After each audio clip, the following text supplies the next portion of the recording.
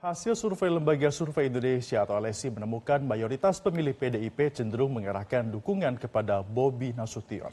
Jumlahnya bahkan jauh melampaui calon yang usung oleh PDIP.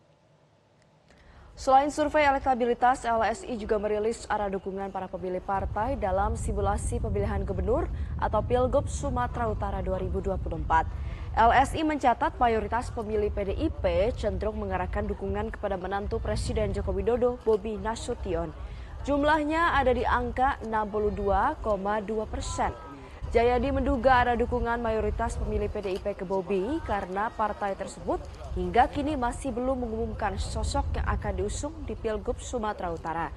Survei LSI dilakukan terhadap 800 responden warga Sumut yang sudah memiliki hak pilih Survei dilakukan pada periode 7 hingga 17 Juli 2024. Dari PDIP Nixon Nababan, calon Bobi Afif Nasution, lalu calon yang menjadi petahana yaitu Edi Rahmayadi. Partai-partai yang mendukung Bobi cenderung sudah sesuai dengan eh, pilihan dari akar rumputnya atau masyarakat pemilihnya kalau kita di sini.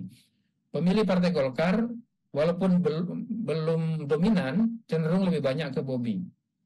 Nah, tapi ini menarik juga, masih 35 persenan memilih Edi Rahmayadi.